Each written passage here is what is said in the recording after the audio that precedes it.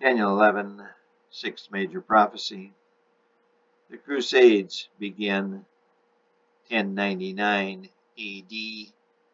Daniel 11, 15.